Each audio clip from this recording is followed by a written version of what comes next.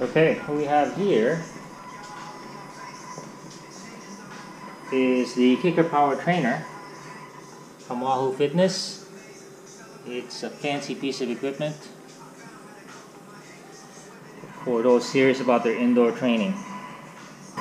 Okay, the uh, amazing thing about the system is that the trainer talks to the internet for virtual, virtual racing or virtual training.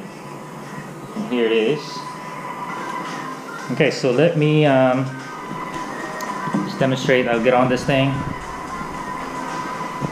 put up my dropper post,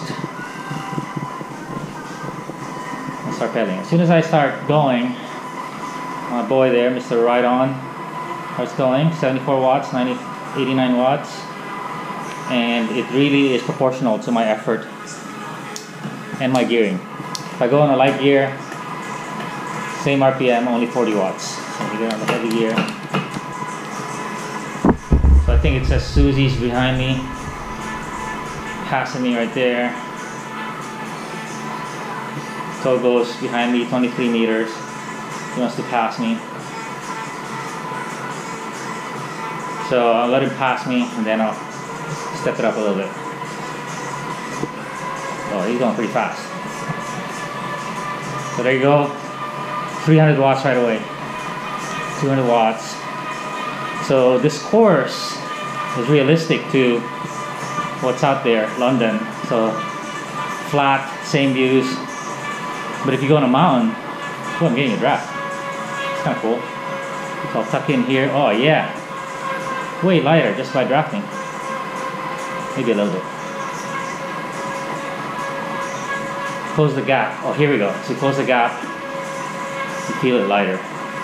Lighten up. So if you go on a mountain course, achievement. Oh yeah, I'm a master draftsman. Master cheater. So if you go on a mountain course like Alpe d'Huez, you're gonna definitely feel your pedals get heavier, even at uh, low speed. So that's what makes this thing special. So anyway, my first five minutes with this thing, didn't read a manual.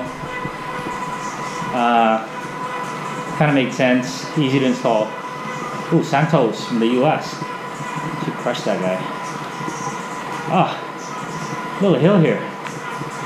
See, I'm only going 14, but it's heavy. Oh, Jesus.